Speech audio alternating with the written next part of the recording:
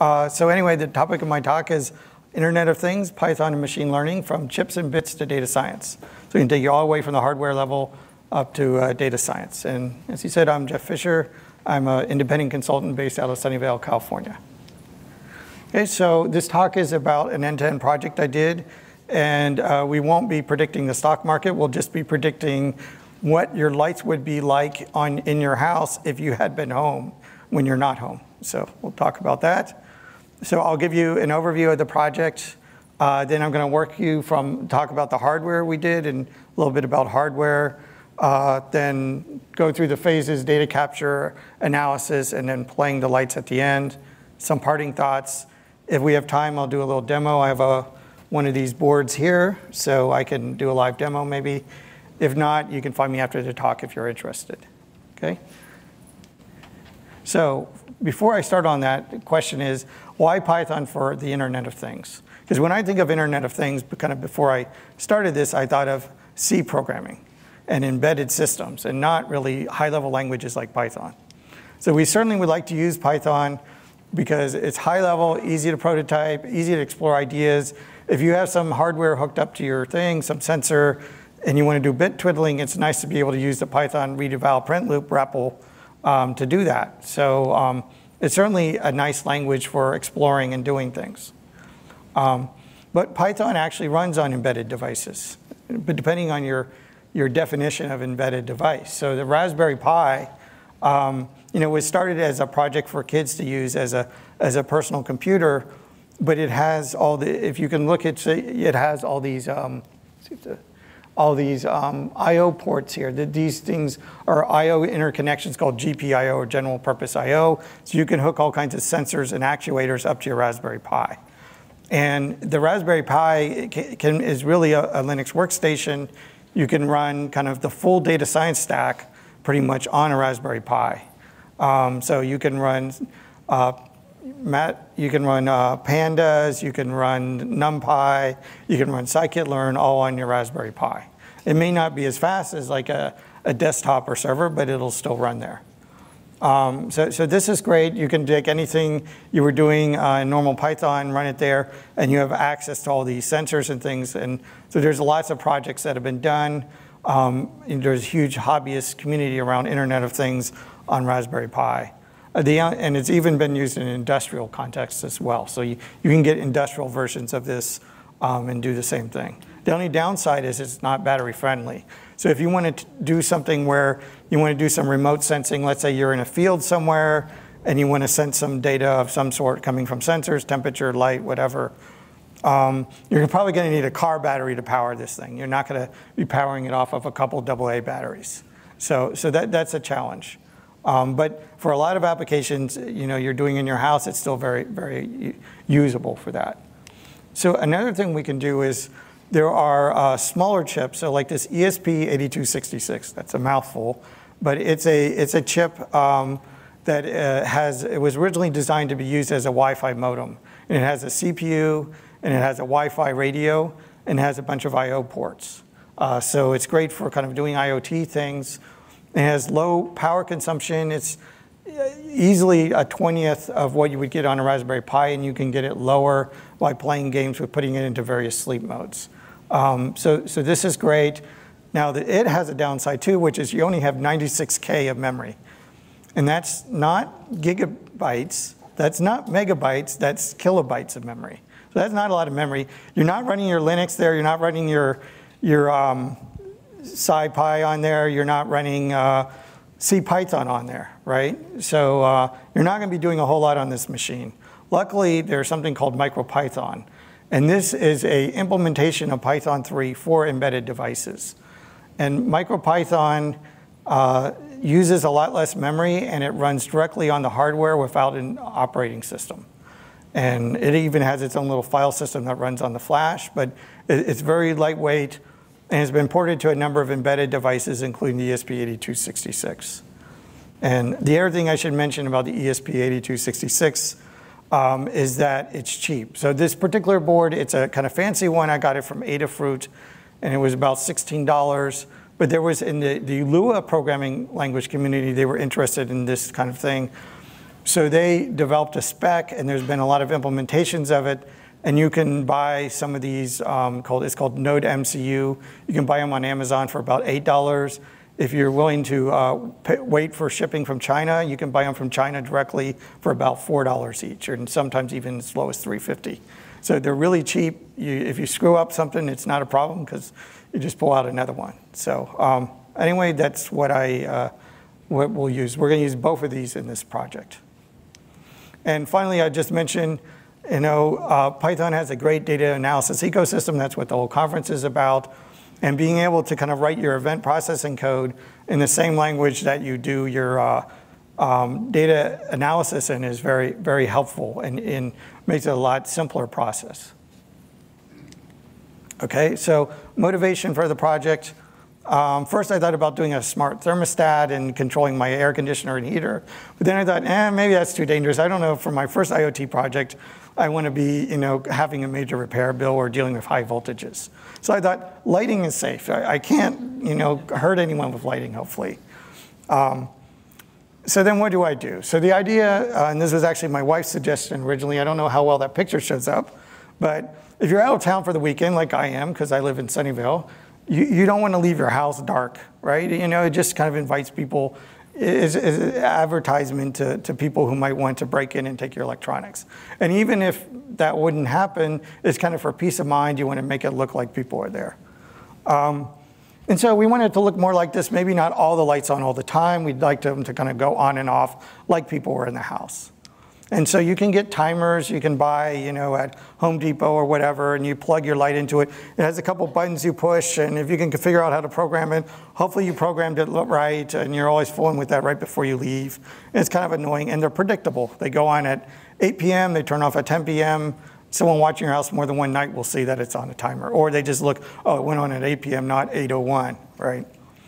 Um, and we'll see that kind of real usage of a house is a lot less predictable. So I want something that's going to replay the lights that make it look like someone's there and it's kind of much more random. And I want a self-contained solution. I don't want to involve third-party equipment that someone could, could brick when they go out of business or get bought by a big company. And I don't want to involve the cloud because that's a security risk and a point of failure, right? So I want to be all self-contained. And wouldn't it be cool to use machine learning, right? So, okay, so here's the application I came up with. Uh, the first uh, part of it is the data capture, and this is really a phase of the project. So first I put light sensors around the house. The remote nodes are using these ESP8266s. Uh, then at my server is the Raspberry Pi. And so that's, that's hooked into the, my network. And so for, for six weeks, and wasn't a continu- it was not a continuous six weeks, but over about six weeks, I captured um, data from light sensors in my house so that I knew what, when people were home, what the usual patterns were. So then the second phase is I take that data and I do an offline analysis and I do it all in a Jupyter notebook. And uh, so it's really convenient using the whole data science stack and kind of understanding what the data, what are the patterns, and then I want to come up with a machine learning model that I can use for the player. So the last part is the player. And when you go production, then that's all you need.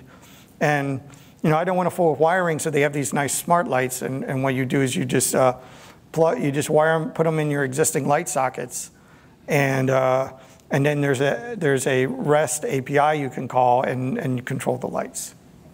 So that's the uh, that's the whole system, and in the, like I said, all you really need when you're kind of in production is the player. So now let me talk about the hardware. Uh, so this is what one of the ESP8266 boards looks like. Um, you see in the back, this white thing is a breadboard. Um, that makes it easy to plug in different components. It has some connections on the back. Um, and so you don't have to do any soldering. And it's good if you don't want to full soldering, as well as if you want to um, play around and change things. You know, you want to add new things to your board or whatever, or reuse it, reuse the parts for other things. Then you see there's kind of two circuit boards on this. Those are called breakout boards. And the reason we have breakout boards is in the old days, kind of when I started as electronics hobbyist, they had these things called dual inline packages. If you open up an Apple II, you see those chips. Those were easy to work with, but now they have surface mount technology, which are all those flat chips. And as, as a normal human that has big fingers, those are really hard to work with. They're designed for printed circuit boards. So some of these companies like Adafruit and uh, SparkFun, they've created these breakout boards which incorporate a number of these surface mount things and they provide easy pins on the bottom that you can hook wires up to and things. So that's what I used. So the one, I guess, on your left is the light sensor. And so that has a light sensor uh, chip and some support circuitry and will generate a digital signal um, that, that can be read by the, uh, the server board. So the processor board has an ESP8266 as well as a, a, an adapter to talk to USB and a battery adapter. So you can power the, the board through the USB or you can uh, power it from the battery and you can charge it.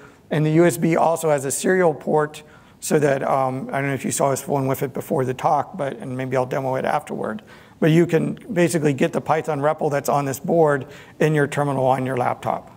So pretty easy to do. Um, and this is the circuits. Um, this is all the connections logically that I have. So you see at the, at the bottom there, basically the power is being coming is coming from the the processor board, of the ESP8266 board, and that's providing power to the light sensor board.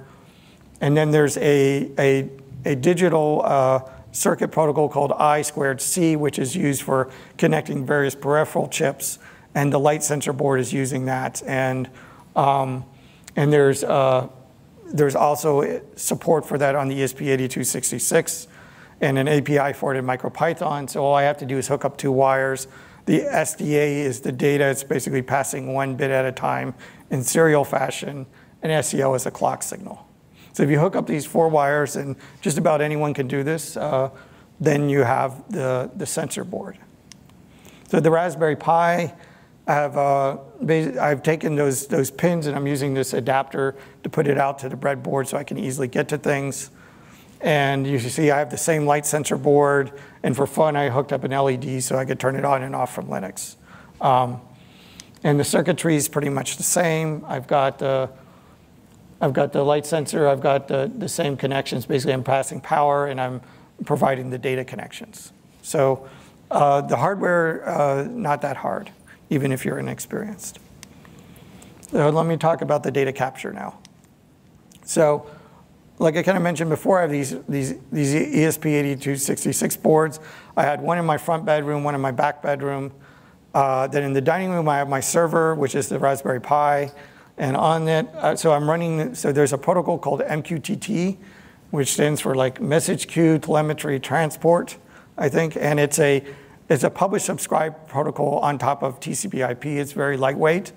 And uh, MicroPython has a client library for it. And there's a broker that you can apt-get install um, in, in Raspberry Pi or any Linux system called Mosquitto. So I can run a broker there and send messages over this. And then I have uh, on my Raspberry Pi, I've got this data capture app. And so I have a light sensor, the data capture app, and I want to write flat files. So that's all great. Um, but if you look at kind of MicroPython, it doesn't have threading.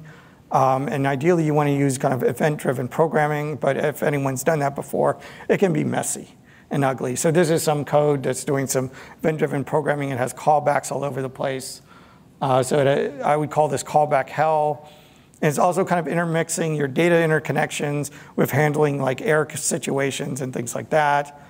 And the scheduling is sort of like, oh, something is done, an event is done. I need to reschedule the same event again to happen in five seconds or a minute or whatever. This is really low level. In Python 3.5, they have this thing called async await, and it kind of cleans up some of the callback stuff, but it's still a little painful. So kind of motivated from this, I created a framework called ThingFlow, and it's a domain-specific language for IoT event processing, runs on top of Python 3 or MicroPython. And it was co-created with Rupak Majumdar, who's at the Max Planck Institute for Software Systems. And so why do we create this? Like I showed you in that previous example, the code can be convoluted. And there's also kind of no standardization in the Internet of Things world for sensor APIs or adapters or transformations. It's all kind of really low level stuff. And uh, also kind of if I'm writing for the, the um, ESP8266 versus the Raspberry Pi versus something else, you're typically using different frameworks or whatever. And so it'd be nice to kind of unify some of that. So I'll, I'll give you a simple example of what some of the code looks like. So let's say I want to sample a light sensor, and I want to write that value immediately to a local file. And then every five samples, I'm going to take the moving average of the last five samples and send it off to the cloud somewhere using MQTT.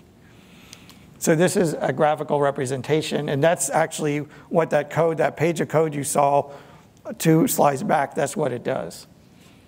And so here's a graphical representation of the, of the ThingFlow code. You see I have an event scheduler, it's gonna schedule a sample of the light sensor, say every five seconds. And then the data is gonna, I have components to write to a file, compute a moving average, and send it to the queue. So this is what the actual code looks like. So these three lines of code do the same thing as the page of code on the previous slide. Um, so you can see, basically it's all about connecting things. So I have a sensor, I want to connect it to the file writer so I can write it immediately. And then I have transduce is a step that can do a stateful transformation, in this case, moving average, and then connect it to the MQTT writer. Then finally, I schedule this to be sampled every five seconds. So this will run every five seconds and pretty simple. So, so that's ThingFlow. So I'm using that then in my project on the ESP8266 as well as on the Raspberry Pi. So this is all the code then I had to write once I kind of had the infrastructure in place. This is all I needed on the, on the ESP8266. So what the code does is at the top, it's doing a bunch of imports. Uh, there's a sensor API. I basically took one uh, that was written for Raspberry Pi and ported it to, uh, to this board. And then uh, set up some parameters. I want to connect to the Wi-Fi, instantiate the sensors, and then you can see the kind of the last three lines are really where I, I basically schedule it to sample every 60 seconds and uh, then call the writer, which is going to send the message over the queue. And uh, so that's all I need. And there's a special file in MicroPython called main.py. And anything you stick in that file, every time the system is booted up or reset, it'll run that code. So I just stick that code there, and then every time I run, it'll run that and do this. So even if I lose power or anything, when it starts up, it'll start sending the messages over to the queue. So this is the Raspberry Pi. I won't go through all the code on that, but the basic idea is I've got two things going on. One is I get events. I get um, basically at a low level, I'm getting a socket event saying that there's data that's coming from the MQTT broker. And I have to parse that data out and then write the events to a file. And I'm also directly sampling from my local sensor. Okay. So that, that was kind of the data capture phase. And so after running this for six weeks, I think for each room I had about 25,000 samples of data, you know, sampling once a minute. And so now we can do data analysis on all that data. And like I said, I do this offline in a Jupyter notebook. It's very convenient for doing these kinds of things. And the files are in CSV. And I think it's one of the dirty secrets of Internet of Things for all these time series databases and all this fancy infrastructure, I think a lot of data gets stored in flat files. So, but it is very convenient to work with. And at the end, we want to create machine learning models we're going to send back to run in the player. Okay, so this is what the data for one room in one day kind of looked like. If we graph it, this is using matplotlib to graph it. Uh, and yeah, the API was a challenge, and now I understand how to use it. Um, but it's kind of one day's worth of data starting at like 9 p.m. and going to a little after 10 p.m. The, the next day. And what you see, first of all, you see the data is very noisy. And you also see there's gaps in the data. So that might be that the Wi-Fi network wasn't working or one of my kids bumped the Raspberry Pi. That it happened at least a couple times. Shouldn't have put it on the dining room table, I guess. But um, anyway, so, so there you see a couple issues. Those are issues that I think are common for sensor data that in the real world you need to have your, your data analysis deal with. Um, some other things you might notice, you see it was on in the, e the evening and then all night long it's off, which I guess you would kind of expect the lights off, people are sleeping. Uh, then you see during the day, the next day, you see a couple spikes here and there. That's probably where someone comes in the room, turns on the light to do something, uh, does whatever they're doing. Luckily, they turn the light off. They're not wasting energy. And then, so you see a spike there in the data. You see some ambient light as well. So, you know, during the day, there's, there's light that might be coming either from another room or from, you know, from the, the window shade there. Um, and there's kind of this other area kind of in the middle where it's up a little higher. And it's not clear if that's ambient light or probably more likely, you know, there was a light on elsewhere in the room. So, so there's a little things we have to kind of infer from this data. It's not kind of cut and dry. And what we really want from our data analysis before that we had to do the machine learning is we really want a, a sequence of the light went on at this time, it went off at this time, right? Not kind of all this messy data. So the first thing I did is I used ThingFlow to smooth the data out a little bit. So I can run ThingFlow in the, the uh, Jupyter Notebook. And so you can see it, it, got a little bit smoother there, got rid of some of the noise. There's always, when you're smoothing data, there's the question of how much smoothing do you want to do? Because you might get rid of interesting artifacts of the data if you smooth it too much. But I really want to have kind of discrete values. I want to say the light was either zero, you know, or one. And so I think as an intermediate step, I'll, map it to like zero. You know, there's like one, two, maybe three or four levels of the light that you can kind of see if you kind of look at it visually. So what I did to kind of get it that way is I ran k-means clustering. So that's a unsupervised machine learning algorithm where you give it a bunch of data, in this case my sample values, and, it, and you give it a number of groups, and it's going to try to group the, the data into those, those groups to minimize the distance between the values in each group. And so I, I, basically gave it that. I said, put it in four groups, and it actually seems to put it in three groups.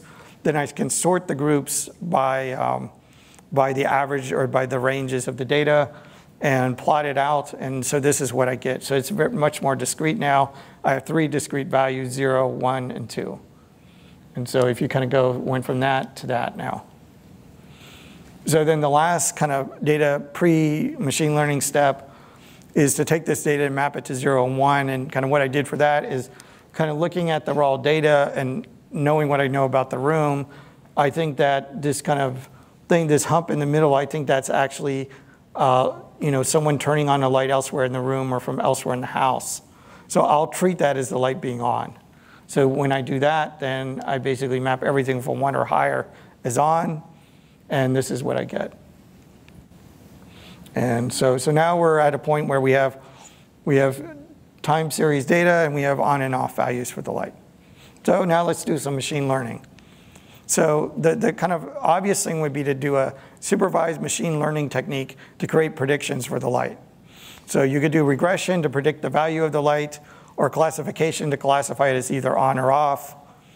And your features might be the time of day, the time relative to sunrise, sunset, because you know obviously the amount of light you see every day varies, um, and all is also the history. I mean, one of the things I'd like to capture is you notice that in the real data that you see, sometimes the light's on for a long time, sometimes it's on for a short time. So we want to capture that information somehow. And your target value then is obviously whether the light was on or off. Uh, but there's some challenges uh, with this. One is that what's really interesting is not so much every sample at every minute, but when the light went from on to off or off to on. So, and there were only, even though I had 25,000 data points per room, in each room there were usually only about 200 transitions over those six weeks. So that means I have a lot less data to work with than maybe I thought I had. The other thing is, you know, the class sizes are different. If I want to make a prediction of the light for this, it's off right? Because most of the time it's off. So that's the most accurate prediction. You know, this is simple. The dummy classifier will work really well on that, but not so interesting to achieve my original goal. Um, and the other kind of final issue with kind of traditional machine learning is that um, it's really a random process. I'm not trying to classify something really. I'm trying to create some random thing that has a similar pattern, but is different every time I do it. And, and so I tried a few things, and I mostly got the light predicting the light is off I know a little more about machine learning now, and I think I can probably improve it. But what I think is a, kind of another good approach to this, which is what I use, is called a hidden Markov models. So a Markov process is a state machine, and it's a state machine where there's a, every outgoing transition has a probability associated with it. So if you look at this is one from, uh, I took this example from Wikipedia. You have it's sunny or it's rainy. Well, so if it's sunny today, there's a 90% chance of it being sunny again, 10% chance of it being rainy the next day. And if it's rainy, then it's 50-50. And so this is probably Sunnyvale, not Seattle in the rainy season. But, um, and the thing is, you notice the probabilities are determined only by the current state, not the history. That makes it a lot simpler.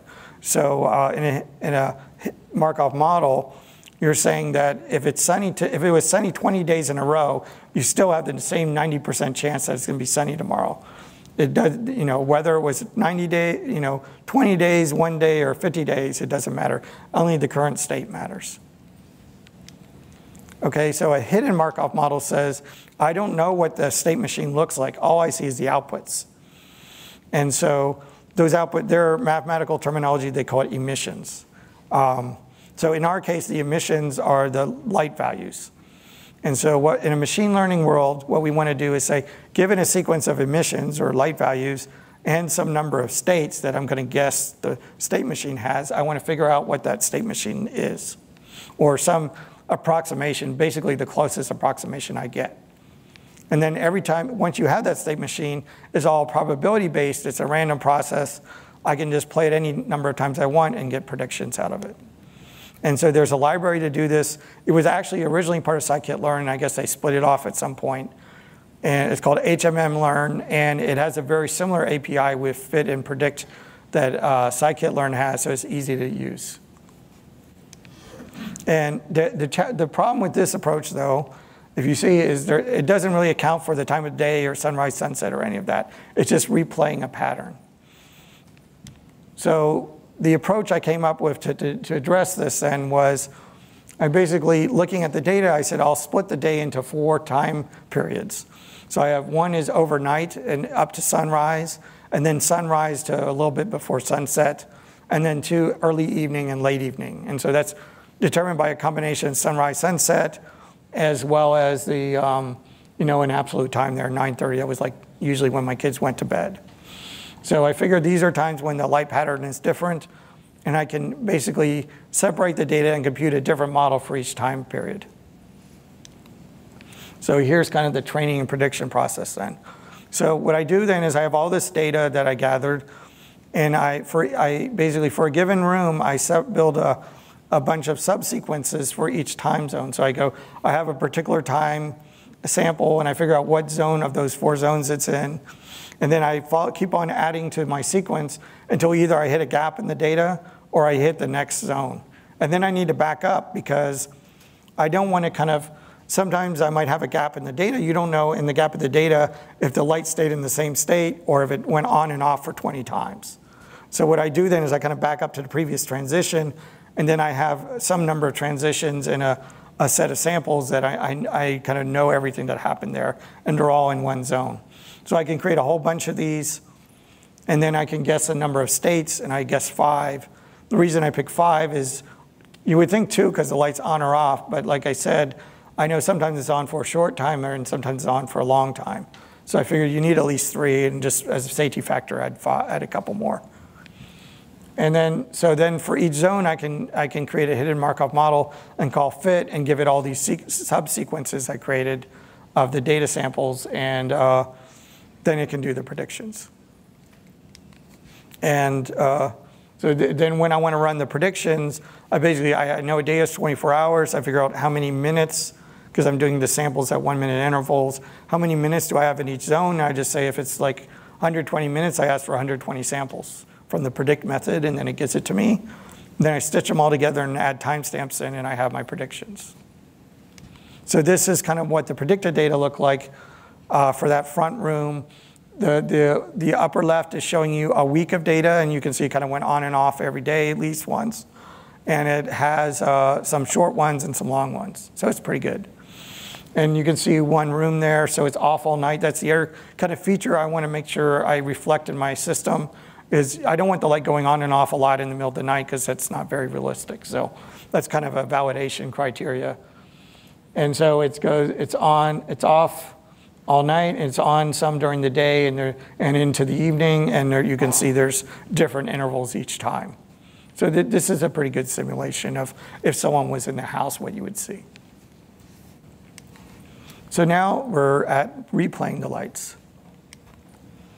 And uh, what we see here is uh, we're going, we have the Raspberry Pi, and we're going to take those machine learning models, copy them over. And then, so the Philips Lights has a bridge that you plug into your Ethernet network, and it's using the Zigbee protocol to control the lights. And we don't have to touch that part. We just have to use the REST API to do it, and we just have to say, okay, turn the light on, turn the light off, that kind of thing. And so uh, I'll go into this. So there's a Python library called, I don't know how you pronounce that, Foo or Foo or Fui, but, uh, but it's a Python interface over it. So I'm talking Python objects. I don't have to deal with the REST API. Really convenient. So here's the pseudocode. So first thing, one thing I learned is you want to initially have a phase where you turn the lights on and off a lot, just to say, okay, did someone turn the switch off? Because the one thing the lights won't overcome, it can be the smartest thing in the world, but if someone turned the switch off at the light, at the lamp, it's not gonna work. So you gotta figure out all that stuff. So I have an initial testing phase, and then it goes into this, this daily phase. And what it does, so, so from now until midnight, I predict, um, how, I predict the values of the light for the rest of the day. And, it, it, it, and there's also, I should mention, there's a Python API to get sunrise, sunset for anywhere in the solar system not just Earth. Um, but you know, just look. I just looked up the latitude, longitude, and Sunnyvale. Put in that in Earth, and then we're good to go. And so I can get for that sunrise, sunset. I predict the zones, get all the values for the day. And then what I'm really interested in is not. I don't want to say every minute, oh, turn on the light, turn on the light, turn on the light. What I'd rather do is say, okay, I want to find the transition. So I just find all the transitions in the data. Then I can build an event list, which is a timestamp a light ID, uh, which is used by the API, so is it front room or back room, and then the state of the light that I want to set it to. Then, then I can take the, all the different predictions for the different lights, merge them together, and I have a big event list for the day. So then I just, for each event, I sleep to the event time uh, and send the control message, and then, then, then, then I'll grab the next event and repeat the process. And then when you're done with that day, you wait till midnight, and assuming you don't have any bugs in your code, which I did the first time I did this, it, uh, it will uh, repeat that process again. So. So some parting thoughts, lessons learned. So end-to-end projects, I think they're great for learning. For me, kind of having, it's kind of more motivating to work on something that has a complete real system as opposed to kind of a, a artificial homework problem. And you also kind of learn more about how the pieces fit together. And machine learning has a lot of trial error and error involved, um, which I was fairly new to it when I started this. And that was one lesson I got out of it. And I think visualization is important both for machine learning as well as to understand the data, the sensor data in the IoT world. Because you know, if you just had a bunch of numbers kind of making sense of that light data is really hard. And finally, the Python ecosystem is great for this kind of stuff. And uh, in conclusion, if you want to talk, reach me, here's how you can reach me. And all this stuff is online. ThingFlow has its own page. All the code, if you want to try it out, all the Python notebooks or Jupyter notebooks are online. And the, there's also a hardware tutorial as well. Thank you.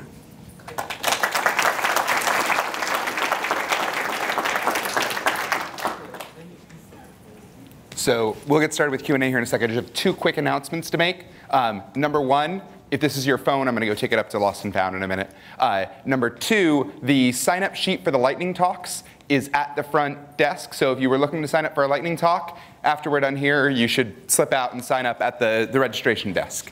So with that, uh, does anybody have any questions offhand while I look to see if there are new ones coming in? How do you tell your home or not? What, how do I? Uh, could you say it? A little? How do you tell the kids if your system is home or not? Oh, how do you, yeah, can you? I have not implemented that feature. Wait, can you repeat the question? Okay, though? Yeah. the question was, how do you tell the system whether you're home or not? And I, that, that feature is like when I was 5.30 in the morning and I was gonna get, get ready to go to the airport, I log into the machine and start up the script.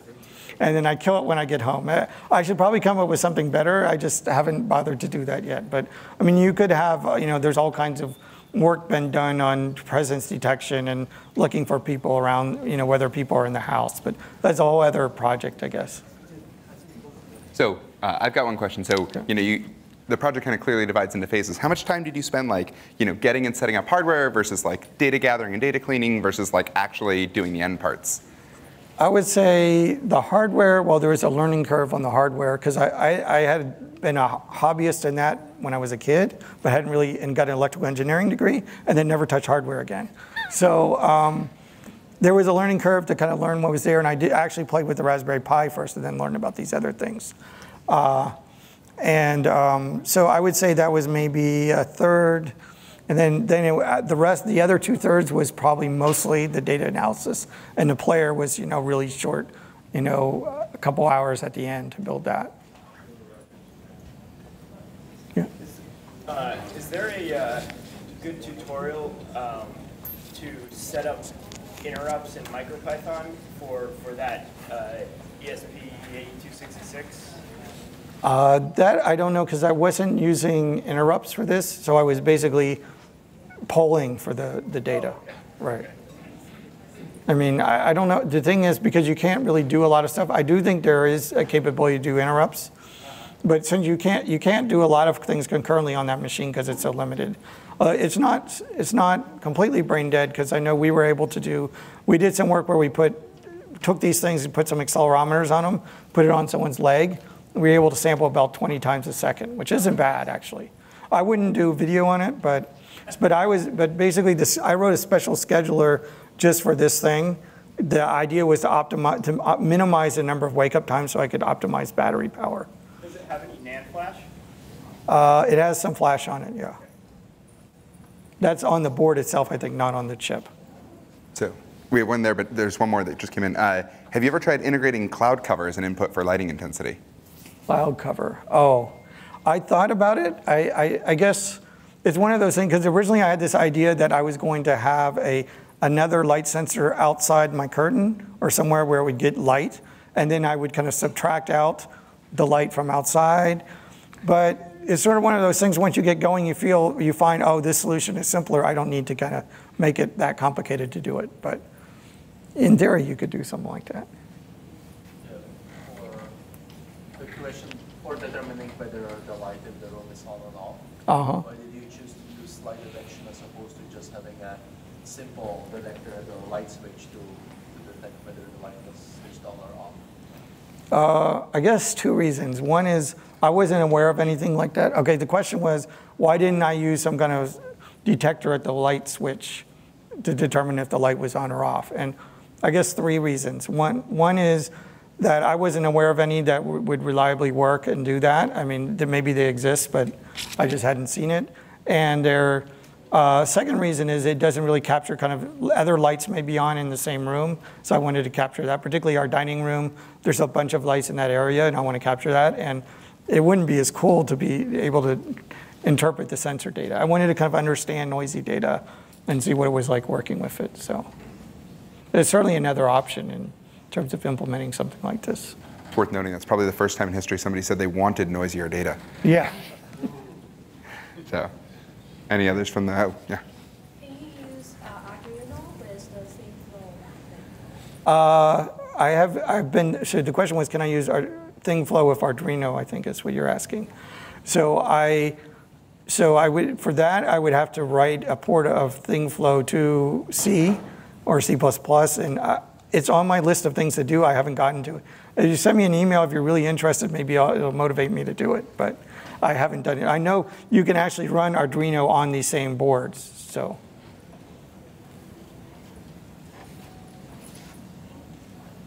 All right, so with that, let's go ahead and thank the speaker again. Thank you.